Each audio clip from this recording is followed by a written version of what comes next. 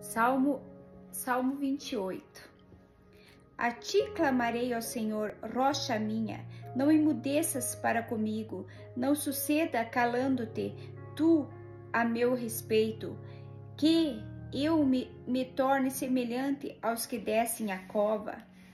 Ouve a voz das minhas súplicas quando a ti clamar, quando levantar as minhas mãos para o oráculo do seu santuário.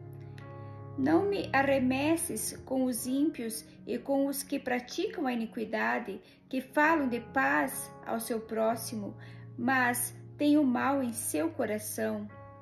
Retribui-lhes segundo as suas obras e segundo a malícia dos seus esforços, dá-lhes conforme a obra das suas mãos. Envia-lhes a sua recompensa. Porquanto não atentam para as obras do Senhor, nem para a que das mãos tem feito, pelo que ele os derribará e os e não os reedificará. Bendito seja o Senhor, porque ouviu a voz das minhas súplicas.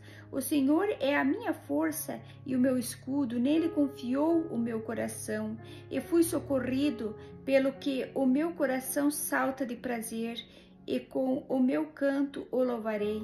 O Senhor é a força do seu povo, também é a força salvadora do seu ungido. Salva o teu povo, abençoa a tua herança, apacenta-os e exalta-os para sempre.